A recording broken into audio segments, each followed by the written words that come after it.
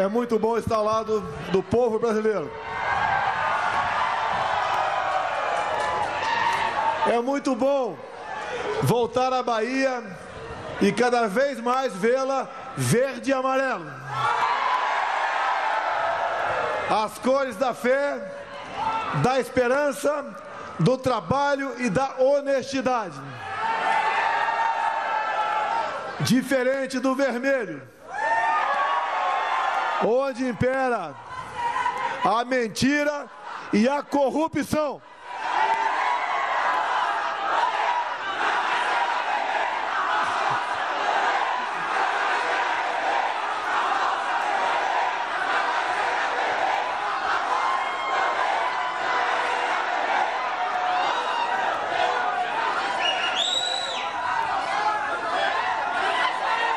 Faça.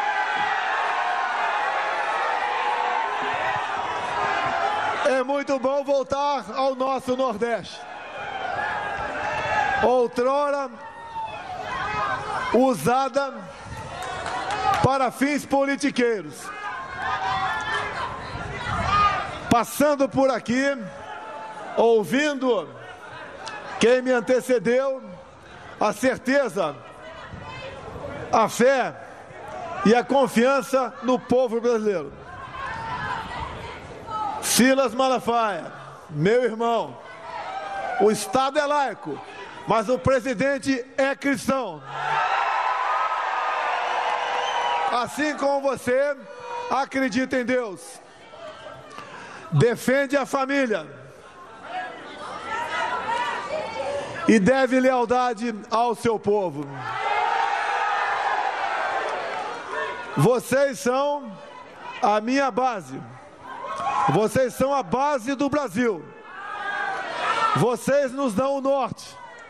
Nos apontam para onde nós devemos ir. E como sempre, perguntam-me onde eu estarei no próximo dia 7. Como sempre, estarei onde o povo estiver. Não existe país melhor do que esse. A nossa liberdade não tem preço. Tudo faremos, mais que a nossa própria vida, pela nossa liberdade. Porque a vida sem liberdade não existe. Se Deus quiser, no próximo dia 7, Estarei pela manhã na esplanada dos ministérios. E à tarde na Avenida Paulista, lá no estado de São Paulo.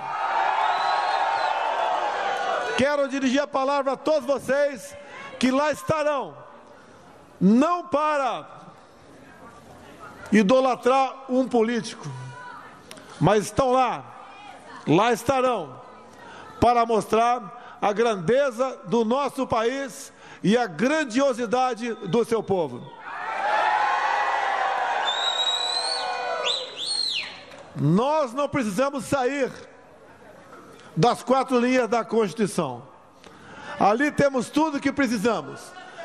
Mas, se alguém quiser jogar fora dessas quatro linhas, nós mostraremos que poderemos fazer também.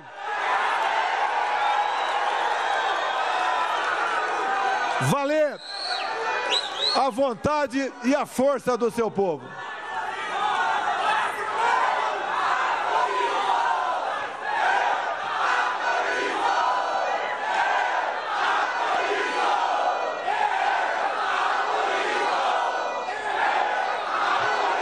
Após o 7 de setembro,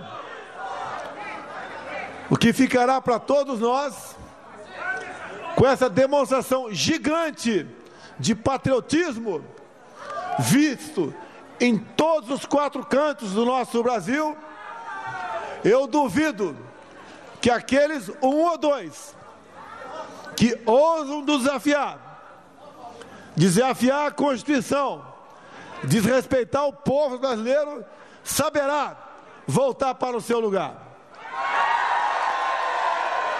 Quem dá esse ultimato não sou eu. é o povo brasileiro. Povo esse no qual, repito, nós todos políticos devemos lealdade. Quando se fala em obras, quando se fala em composição de ministérios, de estatais e de bancos oficiais, acredito que, pelo menos nos últimos 30 anos, vocês não viram um ministério como esse que eu formei. Não tem peixada no meu ministério. Não tem amigo de amigo no meu ministério. Tem pessoas competentes. Mas essas pessoas, para poderem trabalhar, como o Tarcísio e o João Roma, o nosso querido baiano, eu dei para eles também a total liberdade. Porque acredito na responsabilidade de cada um deles. E formando, e, formando dessa maneira a iniciativa privada, que aquela que realmente leva o país para frente, vem atrás de nós, que tenha confiança naquilo que nós fazemos. Assim sendo, não podemos esperar outra coisa senão um progresso para o nosso Brasil. Atravessamos momentos difíceis, esse que vivemos, pelo que tudo indica, pós-pandemia. Muitos governadores, incluindo desse estado aqui,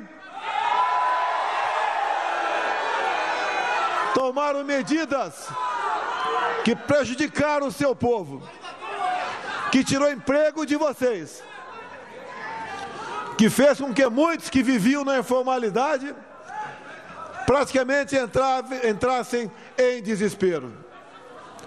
O auxílio emergencial não foi um favor nosso para muitos baianos e muitos brasileiros.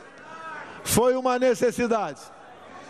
E o Brasil, o nosso governo, os atendeu nesse momento difícil. A consequência de medidas ditatoriais, como lockdown, confinamento, toque de recolher, ou o famoso fique em casa, trouxe consequências. O mundo todo vive uma inflação especial nos alimentos. Alguns países já têm desabastecimento. Aqui não tem. Que a outra ministra, Tereza Cristina, trabalhou arduamente nessa direção. Sabemos que os preços aumentaram. Mas os combustíveis deve-se o aumento ao ICMS do governador. O gás de cozinha, que vocês estão pagando bastante caro, eu zerei os impostos federais. E o ICMS do governador faz ele ficar caro na ponta da linha. Mas nós vamos mudando o Brasil. Já indiquei um ministro para o Supremo Tribunal Federal. No momento, cumprindo promessa de campanha, indiquei um outro evangélico para o Supremo Tribunal Federal também. Ele é evangélico, mas é também extremamente competente naquilo que faz. Quem for, porventura, eleito presidente o ano que vem, no início de 2023,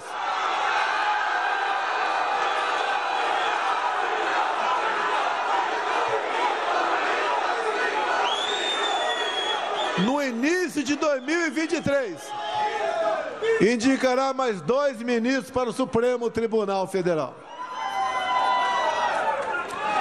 Tudo, para tudo nessa vida é bom renovação. O Supremo começa a ser renovado também. Nós não criticamos instituições ou poderes. Somos pontuais. Não podemos admitir que uma ou duas pessoas, usando da força do poder, queiram dar outro rumo para o nosso país. Essas uma ou duas pessoas têm que entender o seu lugar. E o recado de vocês, povo brasileiro, nas ruas, na próxima terça-feira, dia 7, será o ultimato para essas duas pessoas. Curvem-se à Constituição. Respeitem a nossa liberdade. Entendam que vocês dois estão no caminho errado.